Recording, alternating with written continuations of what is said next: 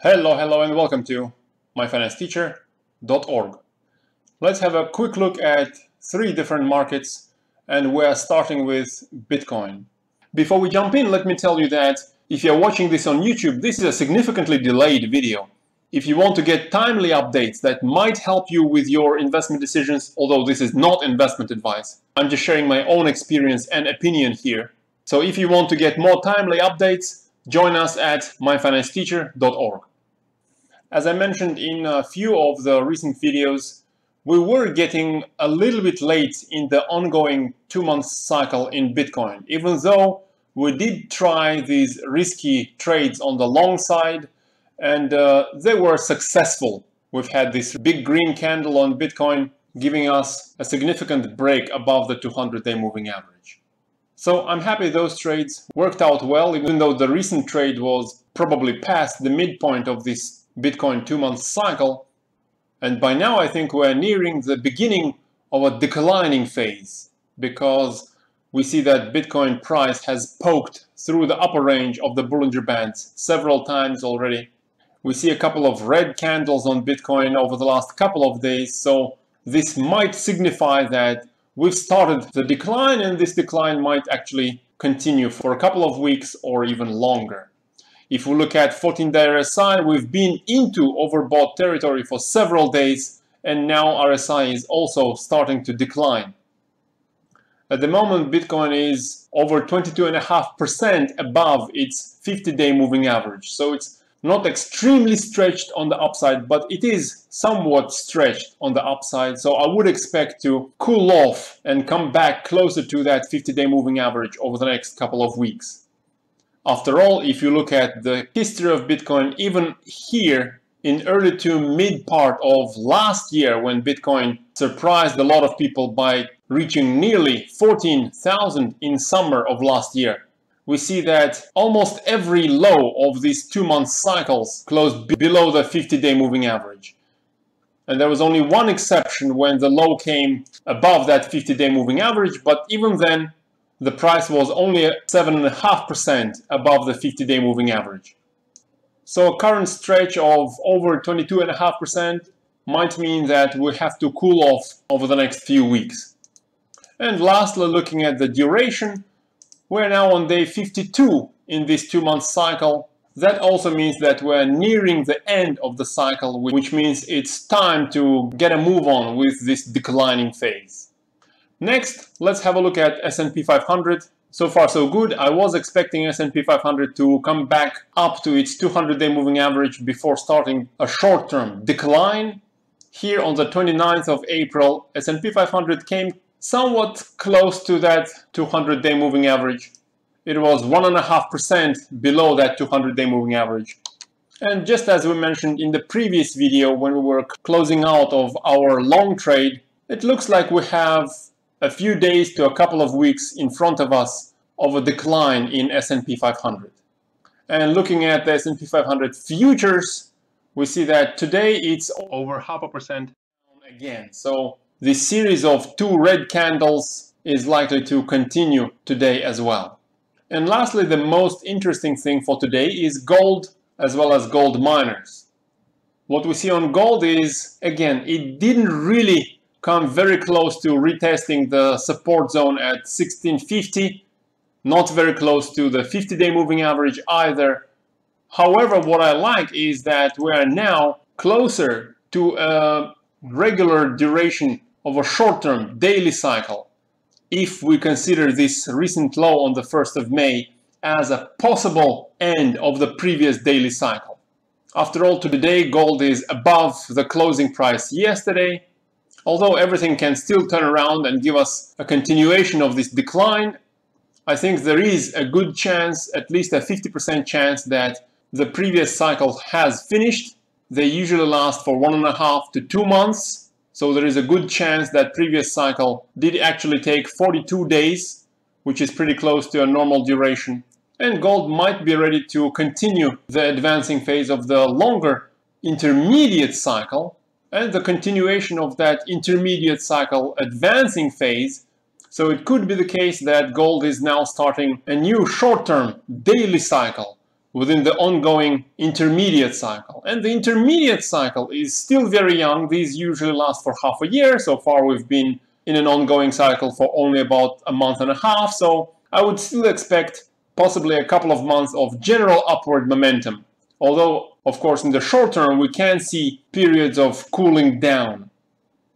So my outlook at the moment, although remember, nobody knows the future, based on the cycle duration, and on the fact that we have a couple of green candles at the moment on gold, I think there is maybe 50 to 60% chance that we're now in an advancing phase of the second short-term daily cycle within an ongoing advancing phase of a longer intermediate cycle. And this second cycle will probably take us all the way up to 1800 on gold over the next several weeks. Although there is also a chance we continue this short-term decline, which shouldn't go very deep, there is still a chance we might retest this 1650 support zone. If the decline continues, I think that should happen over the next several days before we start our advance into the second daily cycle. So the chances for a continued decline then would be somewhere around 45 to 50%.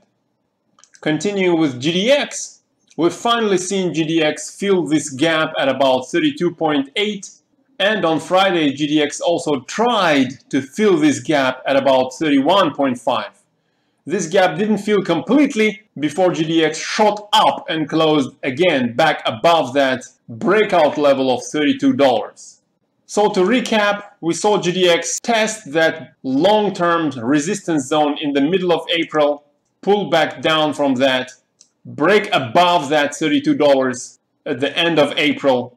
And what we're seeing at the moment is it looks like GDX has successfully retested the breakout, filled up some of the gaps, and has closed above that breakout level.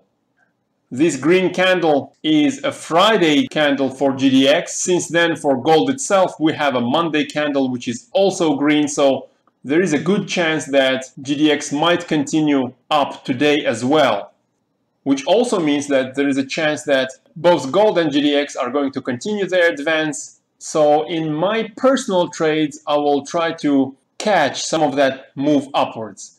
I'll talk about the trade in a minute. I just want to have a look at GDXJ as well. These are the junior miners. And I want to compare the performance of GDXJ to GDX. Since the middle of March until these recent tops, GDXJ more than doubled. We have 119% gains on GDXJ, although we were not in this vehicle. GDX, on the other hand, in the same period, gained nearly as much, 113%. Usually GDXJ outperforms GDX, especially later on in a rally when investors are a little bit more confident about the rally and more confident to put money into more volatile assets such as junior miners rather than senior miners.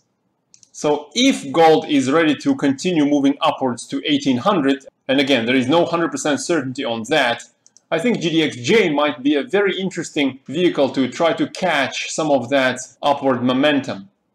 Additionally, comparing GDXJ and GDX, GDX has already broken above the long-term resistance at $32 and above this recent high at the end of February while GDXJ still hasn't even broken above the recent high at the end of February. So as we continue deeper into the ongoing intermediate cycle in gold, as the price possibly approaches 1800, that might make some news headlines, bringing more attention into the gold sector and possibly help such vehicles as GDXJ to break above the recent high and continue much higher. Talking about the targets for GDXJ, if we continue the advance right now, I'm going to assume that GDX is going to break this recent high at the end of February at about 46.5 because GDX has already broken that high.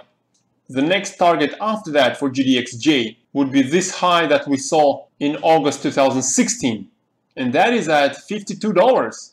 So from the current 41 to $52 that would be a nice gain of 26%. Whereas for GDX, our next resistance zone is either at this low in the beginning of 2013, which is at 36, or at this low in the middle of 2012, which is at 39. So from current prices up to 36, that is over 8% gain, and up to 39, that is 18% gain. As I mentioned to the members at myfinanceteacher.org, in my personal positions, I'm holding 60% GDX, but for the rest of 40%, I'm actually thinking about entering into GDXJ for the continuation of the rally rather than GDX. So over the next day or two, I have to devise a strategy for allocating the rest of the cash. One possibility would be to enter if we see a little more confirmation from GDXJ of a continued move upwards. So if GDXJ is above, say, 41.5, that will bring us above the closing price on Thursday. I might allocate another, say, 20% out of the 40% cash into GDXJ. So I'll think over that until the US markets open. That will happen in another few hours. And I will make sure to update the members at myfinanceteacher.org. Again, if you're watching this on YouTube, join us for more regular updates. And uh, that is all for now. A quick review of Bitcoin, general stock market, gold and gold miners. I wish you guys a nice day and good luck in your trades.